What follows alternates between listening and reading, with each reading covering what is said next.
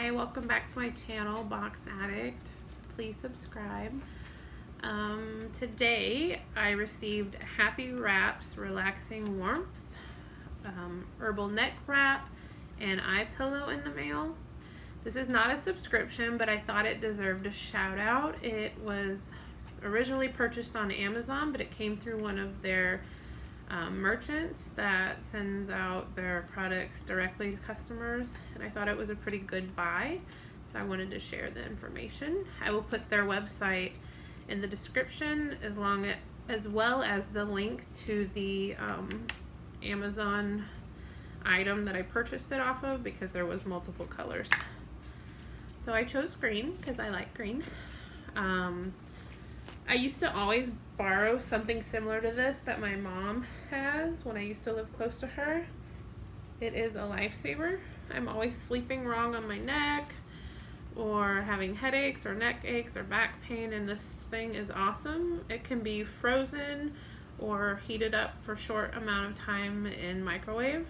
It is a 12 herb blend for a tired body and aching joints. It is from the Happy Wrap store so hot or cold therapy.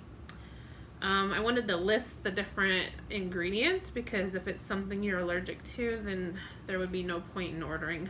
Um, peppermint, spearmint, cinnamon, chamomile, white willow, yarrow, lemongrass, rosemary, valerian, yellow dock root, saw palmetto, lavender, and organic flaxseed and I cannot wait to use this. And the reason I thought it was a good buy, it was $19.95, which I would expect something like this to cost, but it came with some extras.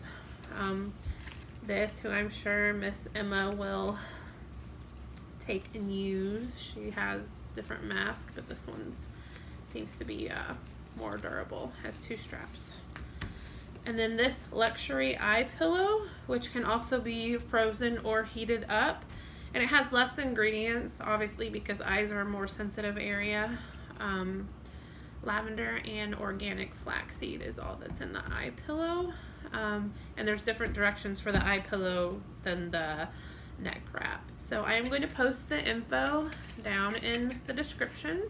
And I thank you for taking the time to watch this video. Can't wait to use it.